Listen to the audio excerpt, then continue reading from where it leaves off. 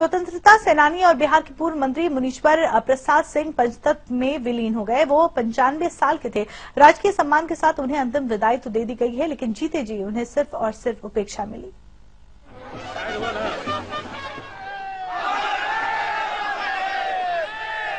फूलमाला गाजे बाजे और राजकीय सम्मान के साथ मुनीश्वर बाबू की अंतिम विदाई हो गई। एक बड़ी हस्ती की, बड़ी सादगी के साथ विदाई। अंतिम यात्रा में पूरा गाँव उमड़ा। वो लोग भी शामिल हुए, जो मुनीश्वर बाबू की मुश्किल की घड़ी में कभी उनके साथ खड़े नहीं दिखे। मुनीश्वर प्रसाद सिंह, बिहार के पूर्व बिजली मंत्री थे। इतना ही नहीं, महनार विधानसभा से चार बार विधायक भी चुने गए थे। इस नाते राजकीय सम्मान के साथ अंतिम विदाई तो उनका हक था। लेकिन यहाँ सवाल ये कि जिस व्यक्ति ने हमें आज़ादी दिलाने के लिए अंग्रेज़ों से लोहा लिया। कई बार जेल गए और जिसे अंग्रेज़ दारोगा की हत्या के जुर्म में फांसी की सजा तक सुनाई गई थी, उन्हें जीते जी सिर्फ़ और सिर्फ़ उपेक्षा ही मिली, जिसे ज़िंदगी में मुफलसी और तंगहाली के बीच ईमानदार मंत्री होने का इनाम मिला। उसे दुनिया से रुखसत करते हुए राजकीय सम्मान देने से ज़िम्मेदारी क्या पूरी हो जाती है? आज़ादी की लड़ाई और क्रांतिकारी सेना के अंतिम में खिलाड़ी थे मुनेश्वर बाबू। और आजीवन उन्होंने समाजवादी आंदोलन का, को बढ़ाने का, गरीबों की सेवा करने का, देश प्रदेश की सेवा करने का उन्होंने काम किया।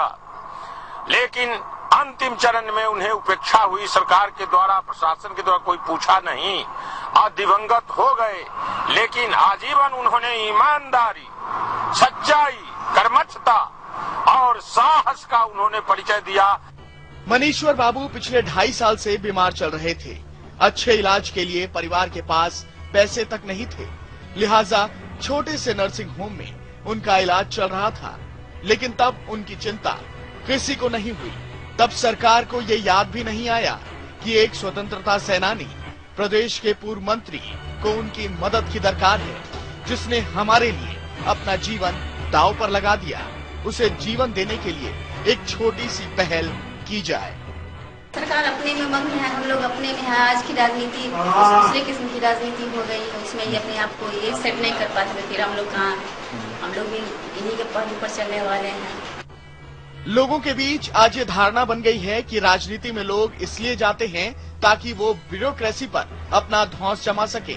मंत्री बनकर अपनी सात पीढ़ियों के लिए संपत्ति अर्जित कर सके। और पूरे ठाट बात के साथ जीवन जी पाए।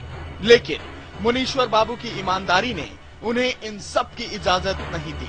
लिहाजा गरीबी और तंगहाली में उनका जीवन सिसकता रहा। जीवन भर वो आदर्शों पर चलते रहे। नैतिक मूल्यों से कभी समझौता नहीं किया।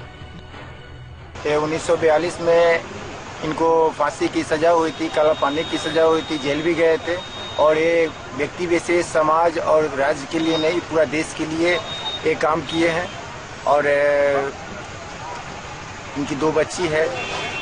और ये अभी बच्ची के लिए, परिवार के लिए भी कुछ नहीं कर पाए हैं। जो भी कर पाए, सिर्फ़ उनका एक बाउंड्री बॉल है और कुछ नहीं बचा है। जो भी दिए, वो देश के लिए दिए। अपने लिए खुद कुछ नहीं किए।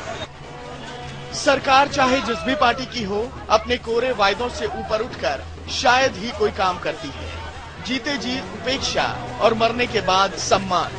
क्या यही हमारे देश की पहचान है? समय के लिए हाजीपुर से विनय कुमार।